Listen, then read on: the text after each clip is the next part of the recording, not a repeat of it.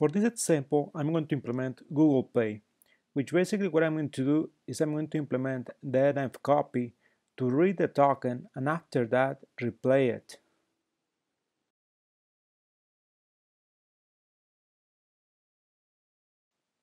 So I'm going to run the Python script to initialize the NFC reader and reader mode so I can capture the Google Pay token.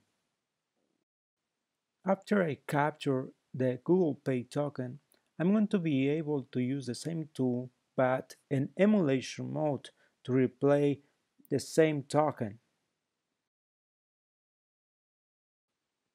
At this point, I'm going to test the NF copy to see if it really emulates the NFC transaction.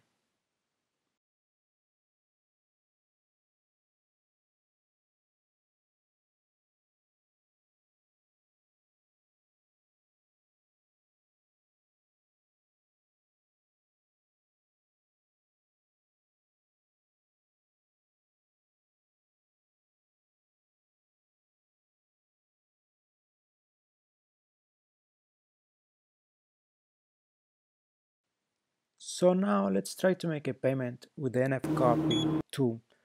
Basically what I'm doing, I'm making a NFC transaction using the Visa MSD protocol and now it's going to validate the token from Google Pay, which basically is a valid token which implements a cloud cryptogram